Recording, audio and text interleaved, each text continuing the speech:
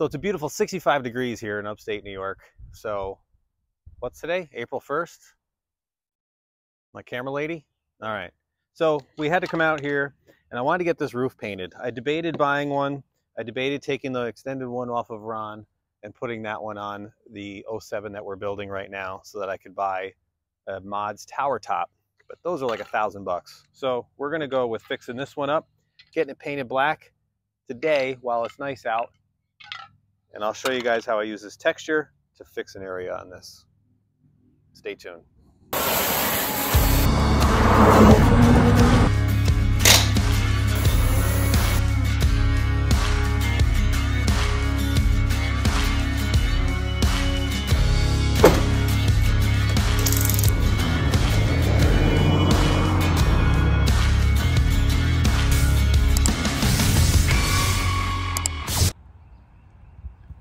Honestly, this came out way better than I thought it was gonna.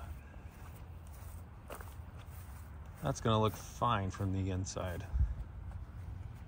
Eh, I guess there's some patches, but of sheen difference, but I don't think you're gonna notice when it's upside down. We'll worry about that more on the top side. All right, so in this area here on this top, we've got this pretty nasty scratch. I did fill it in a little bit, uh, I don't know, like a month ago. The bottom of it is painted. That's the overspray that we're seeing. But what we're going to do is I'm going to take some of this texture. We're going to try and hide that a little bit. And then we'll go back and we'll paint this whole thing black. So just from a distance, I guess I should test it out first. So this is the texture. So what I'm going to do is just kind of miss this. Hopefully it hides that scratch some. A couple little other areas on this thing. And it's still there, but but it is much, much more hidden. Let's see, where else did I want to hit this? Ah, right here.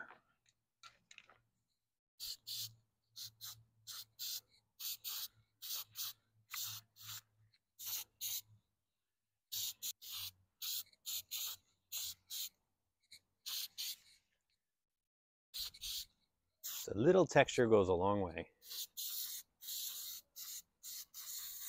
So now when I paint all this up, hopefully it'll look fresher.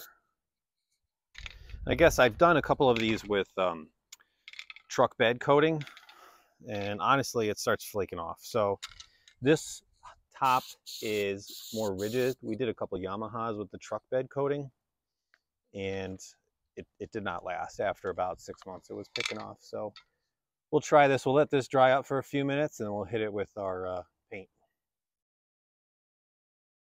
All right, so I hit the scratch again. I mean, it's still there, but it's going to be better than that deep one that we had. So we'll go with that for now. We need to save some of this stuff for uh, those rocker panels.